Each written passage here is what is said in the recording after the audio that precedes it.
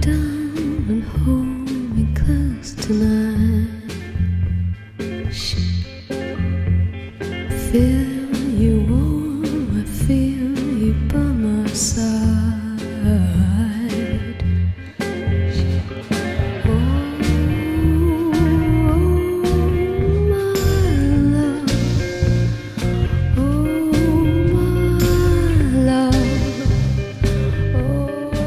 exciting change and it's a challenge um, in many ways, personally and professionally.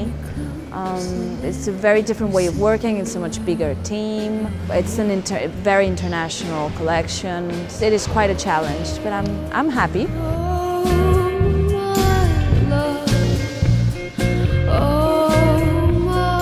The main purpose of this collection has been to focus on the kind of woman. She's not just one woman, it's very hard for me to narrow it down so much. It's about many women, but it's a real woman. It's a woman that has different ages and that has different sizes and that is quite busy and travels. Very contemporary, very feminine, a strong woman. Very Spanish in roots, but very international.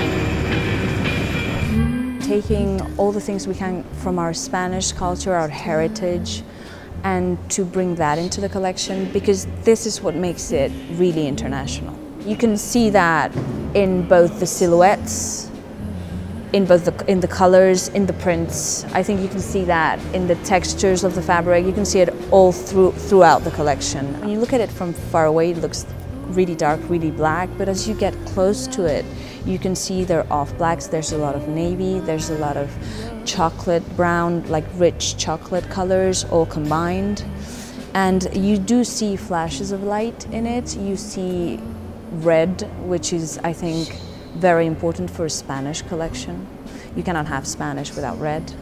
And you can see this beautiful lilac color, which for me is the most feminine color that exists.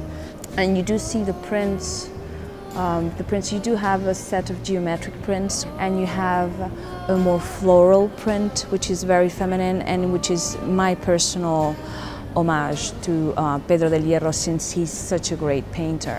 Oh.